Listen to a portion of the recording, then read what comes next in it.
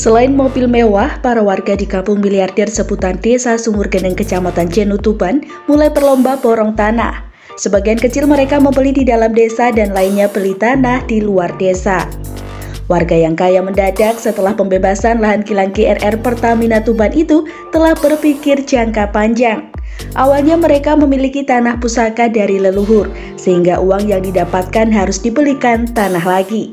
Kades Sumur Geneng Kihanto menjelaskan, ada yang unik selama proses investasi tanah warga, di mana tanah perkarangan di Sumur Geneng dibeli dengan harga 4,5 juta rupiah per meternya.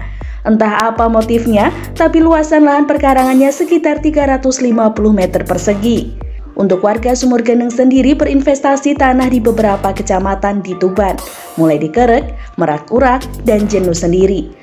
Beberapa desa di Kecamatan Jenu yang menjadi lokasi investasi miliarder tersebar di Desa Rawasan, Mentoso, Remen, Tasik Harjo, Purworejo, dan Temaji. Setelah ada pembebasan lahan Gilang GRR, harga lahan di Sumur Gendeng melonjak drastis. Tanah belum ada bangunannya per meternya dibanderol 1,5 juta rupiah. Jauh sebelum proyek Pertamina, per meter lahan kisaran 100.000 hingga 150.000 rupiah edukasi sudah dilakukan dari pihak Pertamina. Jadi yang menerima uh, uang-uang uh, itu yang punya lahan itu diundangi semua uh, dilakukan edukasi untuk penggunaan uang uh, dibelanjakan untuk apa didepositokan seperti itu. Yang kebanyakan di sini dibelikan tanah lagi terus ada yang untuk rehab rumah dan juga untuk beli mobil terus didepositokan. Untuk usaha ada sih, tapi kecil. Jadi di sini itu mayoritas petani.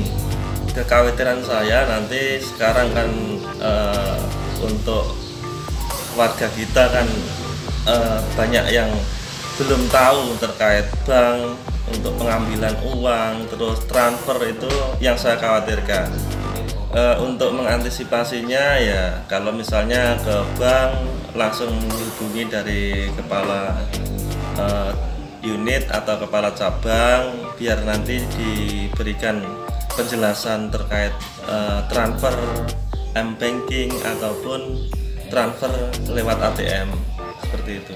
Data Pemdes Sumur Geneng dari 225 miliarder, 90% telah membeli mobil, 75% membeli tanah, dan 50% telah merehab rumah. Hanya sebagian kecil yang berinvestasi di usaha.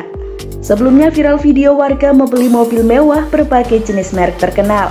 Total mobil baru yang dibeli warga Sumur Geneng ada 180 unit dengan harga termahal 600 juta hingga 700 juta rupiah.